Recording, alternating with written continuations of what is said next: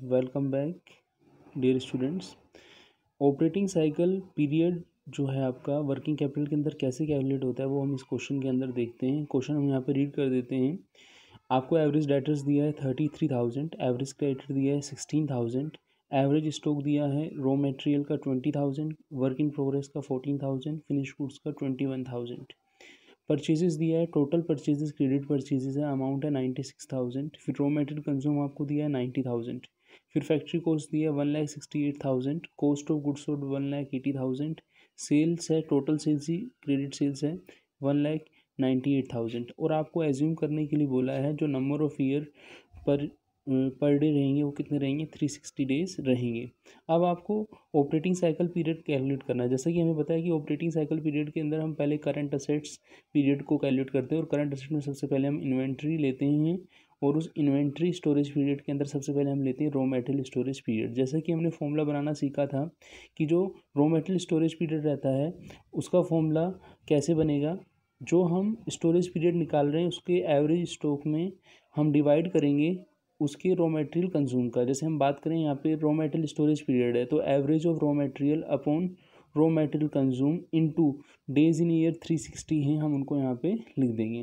तो उससे हमें क्या पता चलेगा? हमें ये पता चलेगा कि जो रॉ मटेरियल के अंदर हम, हमारा जो पैसा ब्लॉक हो रहा है, वो कितने टाइम के लिए ब्लॉक हो रहा है? तो जैसा कि हम इस क्वेश्चन को जब हमने पढ़ा था तो average stock of raw material हमें गिवन था ट्वेंटी थाउज़ेंड और रॉ मटेरियल कंज्यूम हमें गिवन था नाइन्टी थाउज़ेंड इंटू कर देंगे हम थ्री सिक्सटी से तो ये आ जाएगा एटी डेज़ तो एटी डेज़ क्या रहा आपका रॉ मटेरियल स्टोरेज पीरियड अब हम इन्वेंट्री के अंदर जो सेकंड आता है, वो आता है work in progress period work in progress period जब हम कैलकुलेट करेंगे तो वर्क इन प्रोग्रेस पीरियड का फॉर्मूला कैसे बनेगा? वही एवरेज स्टॉक और वर्क इन प्रोग्रेस और वर्किंग प्रोग्रेस का हम वैल्यूशन किस पे करते हैं, आपको पता होना चाहिए। जब हम कोस्ट बनाते थे तो फैक्ट्री कोस्ट के अंदर हम किसका वैल्यूशन करते थे, वर्किंग प्रोग्रेस का हम वैल्यूशन या एडजस्टमेंट करते थे। तो यहाँ पे हमने average stock of working progress में डिवाइड किसका किया?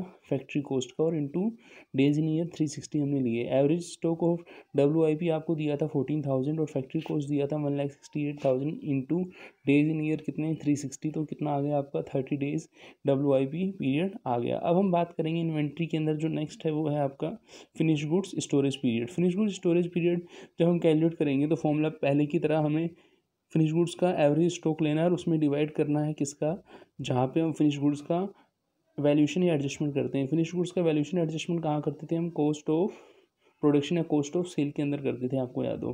तो हमने यहाँ पे क्या लिखा? Average stock of finish goods divided by cost of sales और into days in in year कितने माने हमें? थ्री सिक्सटी अब हम इसमें वैल्यू रखें तो average stock of finish goods कितना है? ट्वेंटी वन थाउज़ेंड और कॉस्ट ऑफ़ सेल्स कितना है आपका?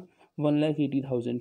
Into करेंगे days in year three sixty से तो कितना आ गया आपका? फोर्टी टू डेज़ आ गया। ऐसे हम डेटर्स कलेक्शन पीरियड कैलकुलेट करेंगे। डेटर्स कलेक्शन पीरियड कैलकुलेट करने के लिए हमें क्या करना होगा? सबसे पहले एवरेज ऑफ़ डेटर्स लेना होगा और उसमें डिवाइड हम करेंगे डेटर्स क्रेडिट सेल से रिलेट होते इंटू थ्री सिक्सटी डेज़।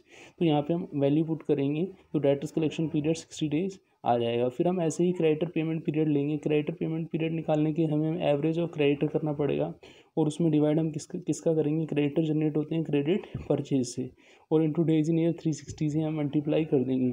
तो अपने पास क्रेडिटर पेमेंट आ जाएगा क्रेडिटर पेमेंट पीरियड आ जाएगा सिक्सटी डेज़ अब हमें ऑपरेटिंग साइकिल पीरियड निकालना है। तो ऑपरेटिंग साइकिल पीरियड का फॉर्मूला क्या था?